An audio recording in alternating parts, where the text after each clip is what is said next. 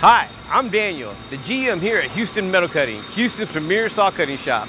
I'm here today with a couple of cutting tips for sawblade.com. Here, we're premiering our IC band type saw blade. This blade is designed for interrupted cut, structural type steel, not too much exotics, but great for when you're cutting anything structural. I-beam, pipe, channel. This blade has a certain design on the tooth that will not let the teeth strip out. You don't have to worry about that. Normally when you're coming in on, on any kind of I-beam or structural type of material, you always want to start off kind of slow as in general. And then once you get into the meat of the part, that's when you can kind of crank down on the pressure.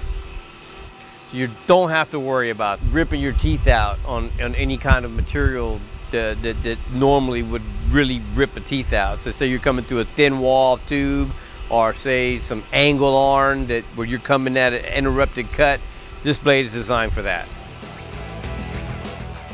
Sawblade.com has an extensive line of sawing products, from bandsaw blades, circular blades, coolant, and replacement parts. So log on to sawblade.com for all your sawing needs. And remember, no middleman, no markup, no problem, go direct.